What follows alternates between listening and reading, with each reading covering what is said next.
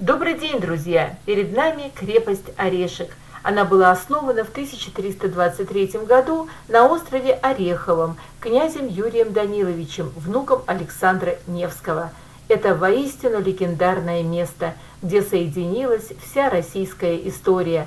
Крепость находится в 24 километрах от Санкт-Петербурга, в истоке Невы из Ладожского озера – Остров получил свое название из-за некогда обильно произраставшего орешника на его берегах. Крепость возвели летом 1323 года, а осенью сюда прибыли послы от шведского короля – до подписания мирного договора, который получил название Ореховский и стал первым официальным мирным договором между Русью и Швецией. Этот договор приостанавливал шведскую агрессию вглубь страны, предусматривал свободную торговлю и закреплял за Новгородом восточную часть Карельского перешейка и берега Невы. А рядом под защитой крепости вырос город, который сейчас называется Шлиссельбург. Однако условия подписанного договора нарушались. Крепость вновь была завоевана шведами, и лишь в феврале 1349 года шведы сдались. Год спустя между Швецией и Новгородом был подписан новый договор, согласно которому Швеция навсегда отказывалась от притязаний на Орешек. При государе Иване III крепость Орешек полностью перестроили, но в 1612 году крепость вновь оказалась во владении Швеции на целых 90 лет – шведы переименовали Орешек в Нотебург, что в переводе со шведского означает «город-крепость». И лишь в октябре 1702 года в ходе Северной войны после 13-часового штурма крепость была отвоевана Петром I. В победе огромную роль сыграло мужество князя Михаила Михайловича Голицына, который ослушался приказа царя отступать и со словами «Я не принадлежу тебе, государь», Теперь я принадлежу одному Богу, ринулся со своим отрядом в бой.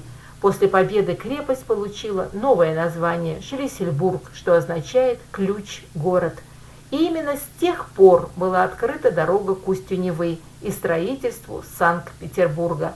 Орешек производил очень сильное впечатление на противников, вот как писали о крепости в те времена шведы и датчане – Нотебург – мощная крепость. Победить ее можно либо голодом, либо по соглашению. А еще считаю эту крепость одной из неприступнейших в мире. И хотя на протяжении всего XVIII века крепость перестраивалась, ее военно-оборонительное значение падало. Крепость перешла в статус главной политической тюрьмы Российской империи – Первые заключенные появились здесь при Петре I, а последние были выпущены на волю после революции в 1917 году. В ее стенах первой заключенной оказалась сестра Петра I, царевна Мария Алексеевна. Второй заключенной – первая жена Петра I, Евдокия Лопухина. Хотя обе и пострадали от политики, но сами политиками не являлись. Настоящими политическими заключенными стали в конце 1730-х годов князья Долгоруковой и Голицын, пытавшиеся после смерти Петра II ограничить власть вступающей на престол Анны Иоанновны. Самой безвинной жертвой стал Иван Антонович. В младенчестве он был провозглашен императором Иваном VI, но свергнутый дочерью Петра I Елизаветой Петровной Младенец Иван VI Антонович оказался за решеткой. Несчастный, он всю свою недолгую жизнь провел безымянным узником по тюремным камерам. Охрана даже не ведала и даже не видела, кого она охраняет. В камеру разрешалось входить лишь трем офицерам, без возможности общения со свергнутым царем. При Екатерине II и попытке освобождения 23-летнего Ивана Антоновича закололи – и закопали на территории крепости без указания места захоронения. В Орешке отбывали срок декабристы Иван Пущин, Вильгельм Кюхельбекер, братья Бестужевы и многие другие, а также народовольцы, эсеры, поляки, боровшиеся за освобождение Польши. Некоторых приговоренных к смерти привозили в крепость для казни. В Орешке был казнен брат Ленина Александр Ульянов, покушавшийся на Александра III. У стены растет яблоня, посаженная одним из народовольцев, а за ней мемориальная доска. Одним из известных узников XVIII века стал журналист и издатель Новиков. Он был заключен в тюрьму в 1792 году сроком на 15 лет за принадлежность к масонам и за то, что осмелился критиковать литературные опусы самой императрицы Екатерины II. Самый длительный срок, 38 лет в одиночной камере, отбывал майор польской армии Лукасинский – его вина заключалась лишь в том, что он, будучи членом военного суда, отказался утверждать суровый приговор трем офицерам, вынесенный великим князем Константином Павловичем. Он умер на острове в возрасте 75 лет. Три года провел в Шлиссенбургской крепости знаменитый революционер, бунтовщик, проповедник идей анархизма Михаил Бакунин. До этого он побывал во многих немецких тюрьмах и в Петропавловске – но именно на острове подорвал свое здоровье. Он писал «Страшная вещь пожизненное заключение.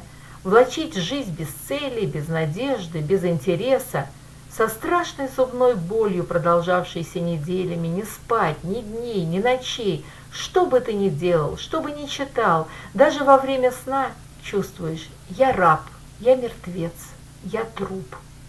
Здесь же сидел видный член большевистской партии Орджоникидзе – После убийства народовольцами царя Александра II внутри крепости возвели новое здание на 40 одиночных камер. Стекла на окнах камер были матовые, в результате у заключенных быстро портилось зрение. Лишь через 10 лет стекла заменили на прозрачные.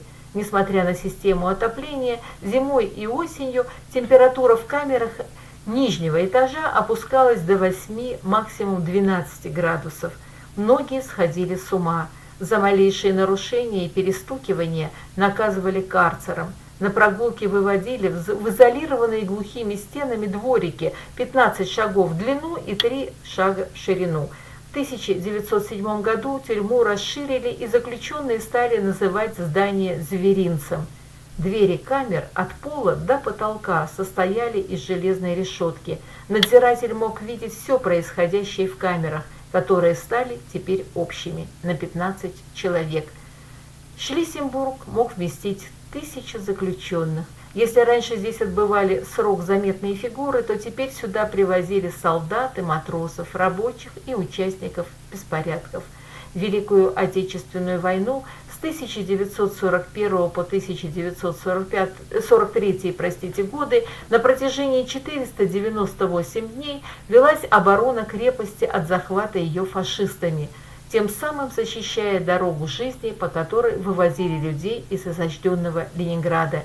Немецкие войска находились очень близко и постоянно обстреливали крепость, но взять ее им не удалось. На одной из конструкций высечена клятва бойцов крепости Орешек.